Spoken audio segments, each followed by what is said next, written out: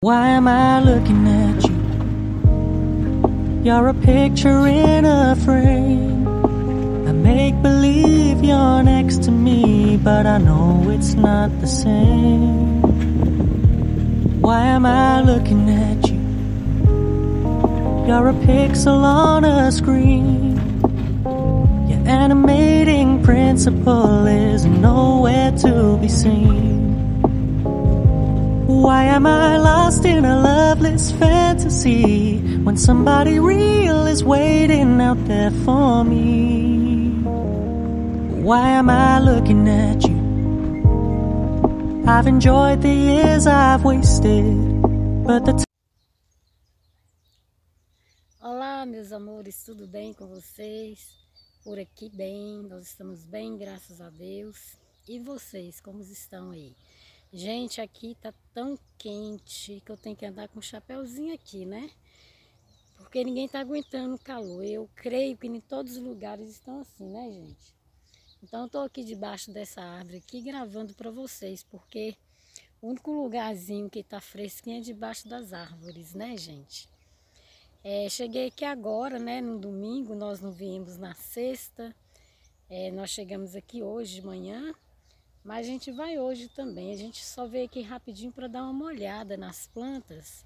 Que as minhas plantas, gente, tá acabou. Estão todas secas, as minhas hortas secaram, meus tomates secaram, manjericão. As minhas plantas praticamente estão todas mortas. O que sobreviveu mesmo, gente, são as árvores, né? Porque as árvores já, já é velha, né? Então não tem como morrer, né? Olha, gente, como que tá, ó. Ó, daqui dá pra ver uma, a minha hortinha, ó. Aquela hortinha que eu fiz, que eu gravei pra vocês, gente. Ó como que ela está. Fora as outras, né, que estão to todas mortas. O sol tá acabando mesmo, gente, ó. E o sol não tem dó, né, gente? Ela, ele vem mesmo pra acabar com tudo, né? Mas fazer o quê, né? Vontade de Deus, né, gente? Então a gente não pode reclamar também, né?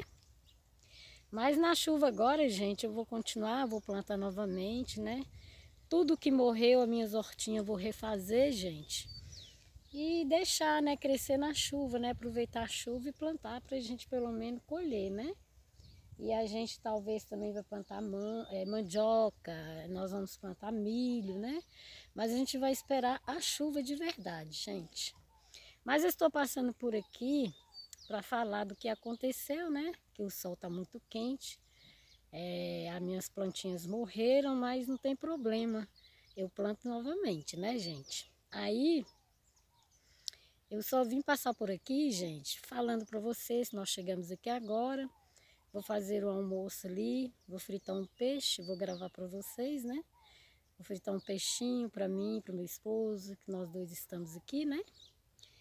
E aí, gente, eu vou compartilhar tudo com vocês, tá bom? Não esqueça, gente, de comentar no meu vídeo. Ninguém tá comentando nos meus vídeos, não sei porquê, mas eu peço a vocês, pelo amor do nome do Senhor, Jesus, se inscreva no meu canal, comenta no meu canal, gente. Eu preciso que alguém comenta, que vocês comentem no meu canal, que dá um joinha, gente. Ativa o sininho para sempre ter vídeos novos para vocês, tá bom, gente? Por caridade, tá bom? Então, vamos lá pro vídeo, que daqui a pouco eu vou começar o meu almoço, tá bom? Até mais. Aí, gente, eu vou fazer essa salada aqui, ó, uma saladinha de repolho. Aí corta o repolho bem fininho, ó, essa espessura bem fininha. Aí, deixa eu pegar aqui a ameixa.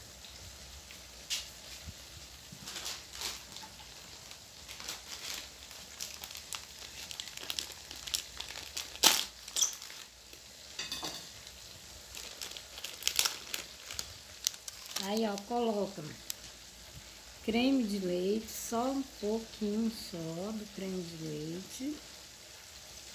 Aí vem com o iogurte natural.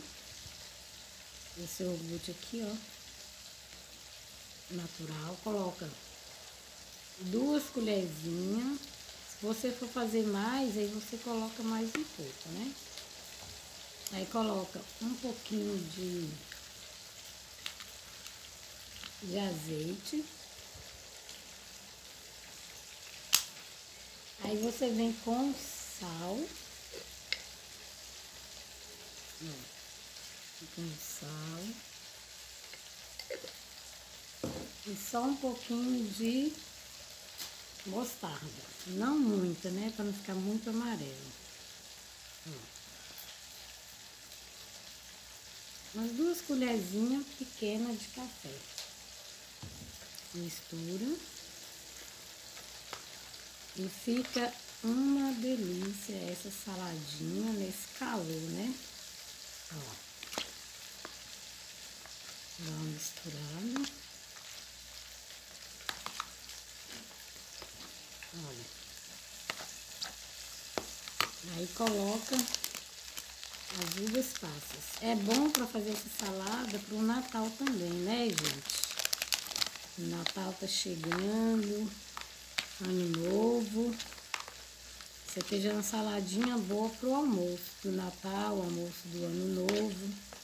Ó, eu tô fazendo bem pouquinho, porque é só eu e meu esposo que tá aqui na, na chácara, né? Ó. Aí fica assim, ó. Faz na casa de vocês que vocês vão amar, tá bom?